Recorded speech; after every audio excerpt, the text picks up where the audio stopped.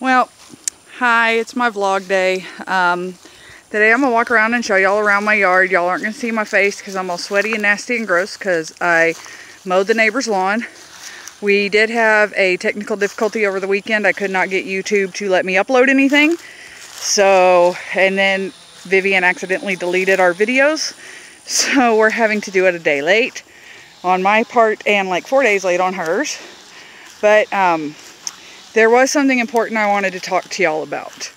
Um, one, we don't remember if a church service or any religious service you're going to is talking about politics, you don't need to be there. Religion has no place in politics, and politics have no place in religion. That means if you go to a church service and they are talking to you about how anything to do with immigration, you don't need to be at that church. No God said that this part of the world is only for these parts of the people. Remember that. It's very important. Religion and politics have nothing to do with each other. They should never have anything to do with each other.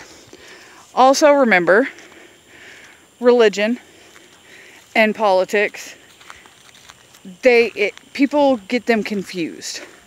So, in my opinion, if you're going to a church or any sort of religious thing where they are having any sort of political thing in their religious service, they are following a, fa a false prophet because then they are following whatever politics that preacher believes in and they're not preaching what's in the Bible or the Torah or whatever religion it is you're going to. Now, I know you think that that's silly that that gets on my nerves, but yesterday, Tia Kim went to her church that she always goes to that she loves and they made some very hurtful comments.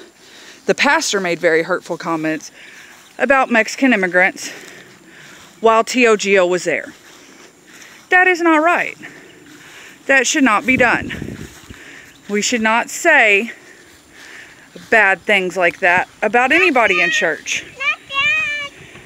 It's supposed to be a place of worship Mommy's not going to step on the ant bed, baby. And that's really all I got to say about that.